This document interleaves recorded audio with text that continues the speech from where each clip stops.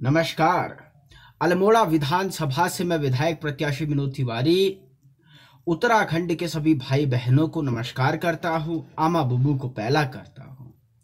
आज, क्योंकि चुनाव समाप्त हो चुके हैं और हमारी जो दो मांगे बहुत पुरानी थी, लगातार हम सरकार पर इन मांगों के मद्देनज़र दबाव बनाए हुए थे।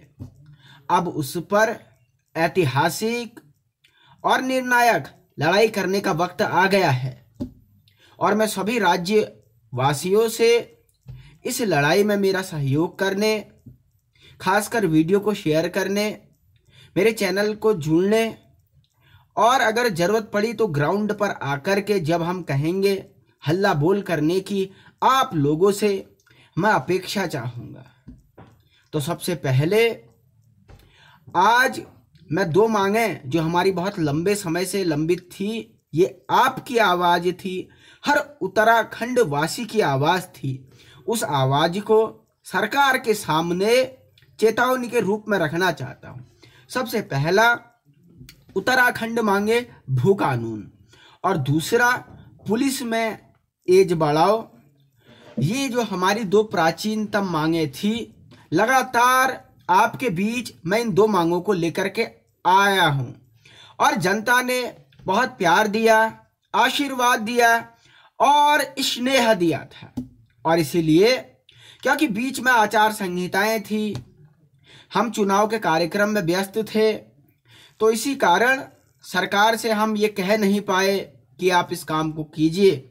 लेकिन अब चुनाव संपन्न हो चुके हैं, केवल परिणाम आने की देरी है और हमारी जो दो मांगे उत्तराखंड मांगे भू कानून और दूसरी जो हमारी मांग थी कि पुलिस में आयु तेईस से बढ़ा करके अट्ठाईस साल कर दी जाए, इस पर सरकार को विचार करना होगा। आज मैं इस मुद्दे पर खुल के बात करूँगा, क्योंकि सरकार की ओर से बाद में ये सवाल पूछे जा सकते हैं कि आपको ये भू कानून क्यों चाहिए? आपको पुलिस में आयु तेईस से अट्ठाईस क्यों करनी है? तो हम तर्कों के आधार पर, तथ्यों के आधार पर आज सरकार से ये मांग करेंगे कि हमें ये दो चीज़ें आपको करके देनी होंगी। सबसे पहले मैं बात करता हूँ कि हमें भू कानून की आवश्यकता आज क्यों है? राज्यवासियों, उत्तराखंड में भूमि खरीदने संबंधी जो कानून है, उसमें कोई सीमा नहीं है। यानी बाहर का कोई भी व्यक्ति आकर के बहुत सारी ज़मीन यहाँ पर सस्ते दामों में खरीद लेते हैं और गाँव के भोले भाले लोगों को, सीधे साधे लोगों को बेवकूफ़ बनाकर बड़े बड़े प्लॉट बीस बीस तीस तीस हज़ार रुपये नाली के हिसाब से खरीद लेते हैं। और क्योंकि जो भूमाफिया है इनके पास पैसा इतना है कि तीस हज़ार रुपये, पचास हज़ार रुपये नाली के हिसाब से एकड़ों एकड़ मीलों मील ज़मीन एक ही बार में खरीद लेते हैं। और उसके बाद, क्योंकि हमारे पहाड़ की ज़मीन का बहुत सदुपयोग हो सकता है, हॉर्टिकल्चर में सदुपयोग हो सकता है, और बहुमूल्य खनन में उपयोग हो सकता है। और इसके अलावा, क्योंकि पर्यावरणीय दृष्टि से, जड़ी बूटियों की दृष्टि से ये भूमि बहुत संपन्न है। भले लोकल लोग इसके महत्व को कम जान रहे हैं, लेकिन जो बड़े बड़े भूमाफिया हैं, वो हमारे यहाँ की ज़मीन पर आँख गड़ाए, हवा में ही नहीं बैठे हैं। तो इसीलिए ये लोग इनको नौने पौने दामों में खरीद लेते हैं।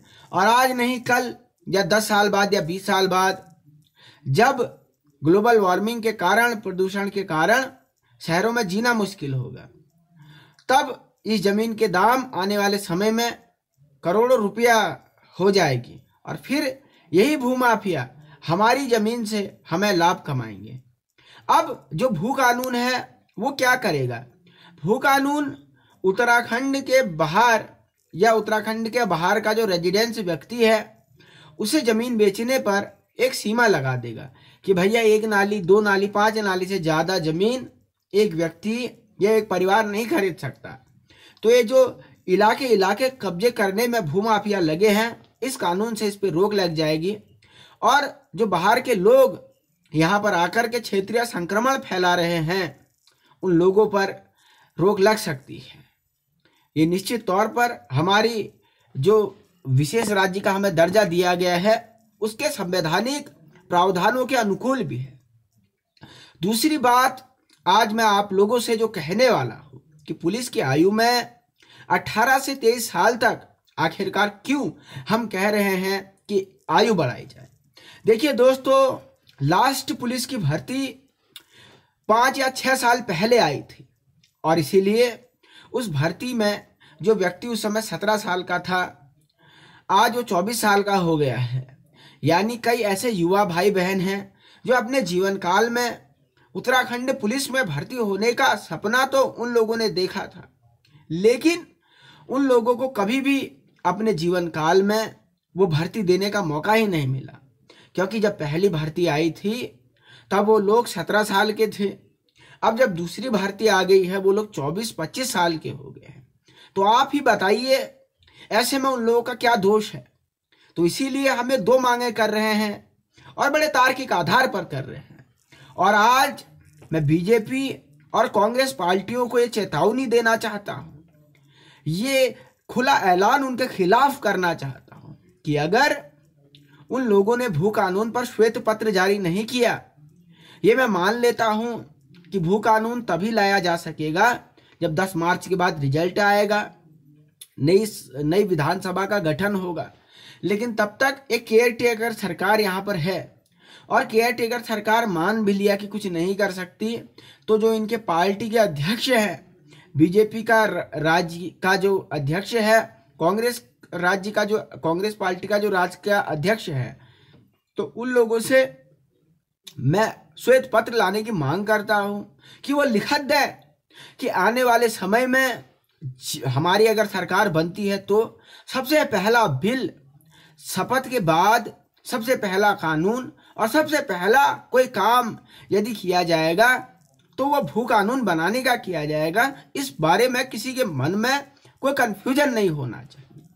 और दूसरी बात जो मैं आयु बढ़ाने को लेकर के कह रहा हूँ, क्योंकि अब चुनाव संपन्न हो चुके हैं और केयर टेकर सरकार को यह अधिकार निश्चित तौर पर है कि वो पुलिस की आयु में वृद्धि करने की शक्ति रखती है। तो ऐसे में प्रदेश के मुख्यमंत्री धामी जी से मैं साफ़ तौर पर और कड़े लफ्जों में ये बात कहना चाहता हूँ कि निश्चित तौर पर उन्हें पुलिस में आयु सीमा बढ़ानी ही पड़ेगी। क्योंकि अभी मैं आप लोगों से हाथ जोड़कर प्रार्थना कर रहा हूँ, डिजिटल माध्यम से प्रार्थना कर रहा हूँ। अगर आवश्यकता पड़ी तो मैं अपने समर्थकों के साथ ग्राउंड पे भी आऊँगा और आपका जीना मुश्किल कर दिया जाएगा। तो इसे आप हल्के में मत लीजिए, मैं फिर कह रहा हूँ। मैं फ्लावर नहीं, मैं फायर हूँ। और यह बात आप लोगों को याद रखनी चाहिए। तो आप सभी लोग इस वीडियो को अधिक अधिक शेयर करें। चैनल पर पहली बार है तो सब्सक्राइब करें। वीडियो पसंद आने पर लाइक करें। भारत माता की जय। उत्तराखंड के सभी भाई बहनियों को मेरा फिर से कोटि कोटि नमस्कार, प्रणाम। जय देवभूमि, जय उत्तराखंड, भारत माता की। जय हो।